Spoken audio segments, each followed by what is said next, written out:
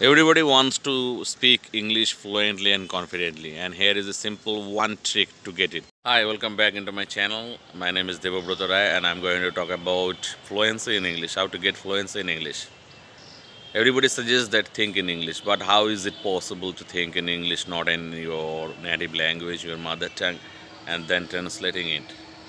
It is very much simple it is only about connecting your nerves, connecting your tissues of brain cells to the part of your memory where the words are stocked.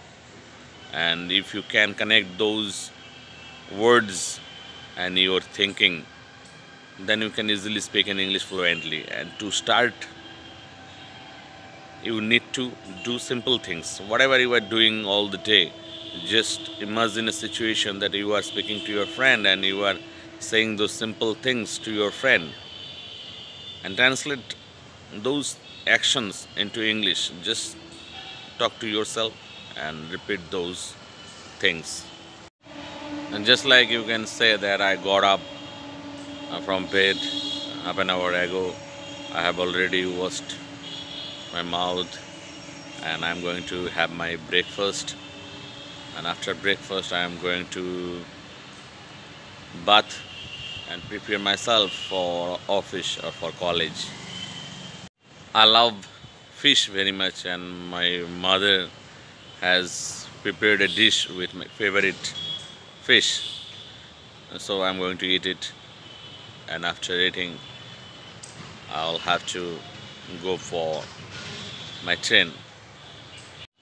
Suppose you are watching a serial or you are watching a TV series. So you can say that I am listening, I'm watching, I'm viewing the TV series, TV serial. It's my favorite serial. I love the hero very much or I love the heroine very much. She acts very fine and I always like to view this serial. Even I love to watch news channels, news programs.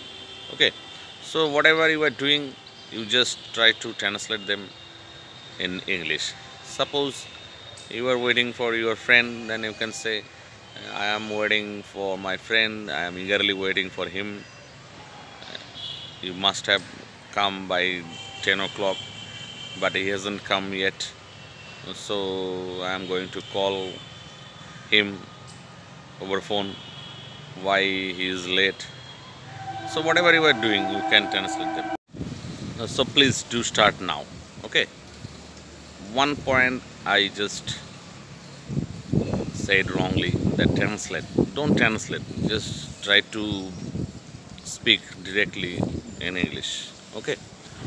If you like this video please subscribe my channel and share it with your friends so that i can upload more and more videos for you and uh, to get instant notification you can press on the bell icon. Thanks for viewing